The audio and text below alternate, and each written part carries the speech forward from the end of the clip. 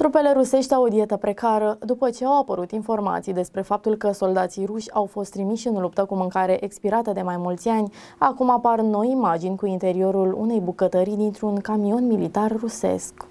Trupele rusești au o dietă precară după ce au apărut informații că soldații ruși au fost trimiși în luptă cu mâncare expirată de mai mulți ani. Acum apar noi imagini cu interiorul unei bucătării dintr-un camion militar rusesc. Soldații ucraineni au difuzat pe rețeaua Reddit imagini din bucătăria unui vehicul blindat lăsat în urmă de trupele ruse. În filmare se pot observa câteva produse alimentare care se găsesc în camionul militar, saci de ceapă, de cartofi și câteva borcane carne cu castraveți murați. Vehiculul militar era echipat cu o bucătărie în care soldații ruși își puteau prepara hrana pentru perioada petrecută pe front. Deschizând sertarele și ușile dulapurilor, au dat peste borcane mari de murături, unele sparte, dar și o cutie de plastic umplută cu diferite condimente. O bucătărie mobilă pentru câmpul de luptă. Să vă arăt ce se află înăuntru, cartofi putreziți, niște murături zdrobite. Noi nu avem astfel de mașini în Ucraina, cel puțin eu personal nu am văzut una. Nenorociții își făceau mâncare aici, a spus bărbatul care filma potrivit unei traduceri postate pe Reddit. Ingredientele sunt cel mai probabil depozitate într-un alt camion, crede un utilizator. În unele localități ruși au fost filmați cum spărgeau magazine și furau alimente, ba chiar și găini dintr-o curte.